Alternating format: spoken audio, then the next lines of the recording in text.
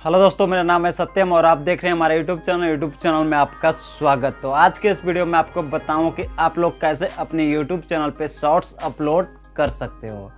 और कुछ important point बताऊँगा जो आपको ध्यान रखना अपने यूट्यूब शॉर्ट्स बनाने से पहले और यूट्यूब शॉर्ट्स अपलोड करने से पहले अपने यूट्यूब चैनल पे। तो वीडियो को बिना स्किप क्यों आपको लास्ट तक वॉच करना और चैनल पर अगर पहली बार आए हो भाई तो प्लीज़ चैनल को सब्सक्राइब कर दीजिए और बेल आइकन को प्रेस कर दीजिए, क्योंकि यहाँ पे इसी तरह रिलेटेड वीडियो मिलता है और मिलता रहेगा। तो बिना देरी के वीडियो स्टार्ट करते हैं।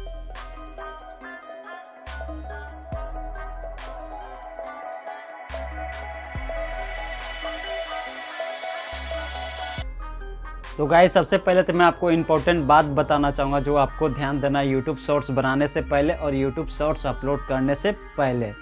तो यूट्यूब पे तो आप शॉर्ट्स दो तरीके से बना सकते हैं। डायरेक्ट अपना फ़ोन ले कैमरा ऑन कर, आप डायरेक्ट ऐसे ही बना सकते हैं। हेलो गाइज़ मैं हूँ सत्यम, आप देख रहे हैं हमारे यूट्यूब चैनल लेकिन वो रहना चाहिए वर्टिकल ये नहीं कि आप हॉरिजेंटल बना रहे हो। आप हॉरिजेंटल बनाते हो तो आपका यूट्यूब शॉर्ट्स में वीडियो नहीं जाता है। आप ध्यान दीजिएगा, जब भी आप वीडियो बनाएँ, वो रहना चाहिए वर्टिकल रहना चाहिए। तभी आपका यूट्यूब शॉर्ट्स में वीडियो जाएगा। उसके बाद जो हम आपको सेकेंड तरीका बताने वाले हैं, अगर आपके फ़ोन में पहले से कोई वीडियो है, आप उसे यूट्यूब शॉर्ट्स में अपलोड करना चाहते हो, लेकिन वो वीडियो रहना चाहिए वर्टिकल रहना चाहिए। वर्टिकल रहेगा तो आपका यूट्यूब शॉर्ट्स में आप वीडियो अपलोड कर सकते हैं। ये नहीं कि आप ओरिजेंटल वीडियो बना रहे हो गेम प्ले कर रहे हो, आप ओरिजेंटल में स्क्रीन रिकॉर्डिंग कर रहे हो, आप यूट्यूब शॉर्ट्स में बना, डालना चाहते हो तो आपका यूट्यूब शॉर्ट्स में वीडियो नहीं जाएगा। आपको ये ध्यान देना कि वो वर्टिकल में रहना चाहिए, तभी आपका यूट्यूब शॉर्ट्स में वीडियो जाएगा।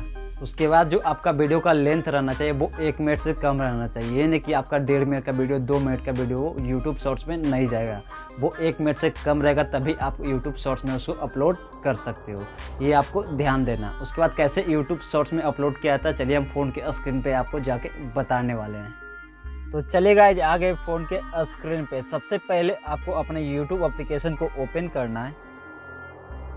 ओपन करने के बाद आपके सामने कुछ इस तरह के इंटरफेस ओपन हुआ। उसके बाद आपको प्लस वाला आइकन पर टैप कर उसके बाद गाइज़ आपको क्रिएट ए शॉर्ट वाला ऑप्शन पर टैप करते ही आप चाहो तो वहाँ से आप डायरेक्ट बना सकते हो नहीं तो आपका गैलरी में तो आप गैलरी पर टैप कर सकते हो। करने के बाद जहाँ भी आपके फ़ोन में वो वीडियो है आपको वीडियो यहाँ से सेलेक्ट करना होगा।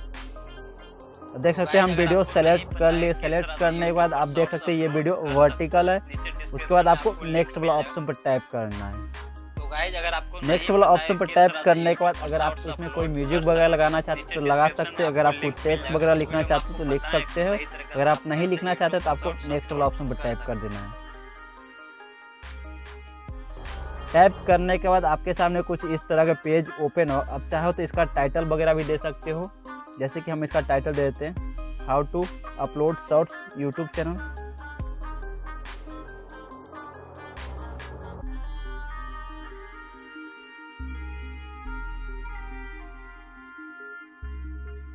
तो देख सकते हैं गाइज़ यहाँ पे हम इसका टाइटल भी दे दें उसके बाद आपको प्राइवेट वाला ऑप्शन पर जाना है। यहाँ पे आपको पब्लिक कर देना है। यहाँ पे आप चाहो तो शेड्यूल भी कर सकते हो। चाहो तो आप डायरेक्ट पब्लिक भी कर सकते हो। तो चलिए हम पब्लिक वाला ऑप्शन पर टाइप करते हैं, उसके बाद आपको बैक चले जाना है। बैक जाने के बाद यहाँ पे पूछ रहा है, क्या जो आपका कंटेंट है, ये बच्चे के लिए तो आपको कर देना है? अगर नहीं है तो आपको नो पर टाइप कर देना है। टाइप करने के बाद आपको अपलोड वाला ऑप्शन पर टाइप कर देना है। तो आपको इसी तरह अपना यूट्यूब शॉर्ट्स को अपलोड करना है। तो उम्मीद करता हूँ, अगर आपको वीडियो पसंद आए तो लाइक कीजिए सब्सक्राइब कीजिए और दोस्तों के साथ शेयर कीजिए। तो कैसा लगा वीडियो कमेंट में करके ज़रूर बताना। तो फिर मिलते हैं अगले वीडियो में।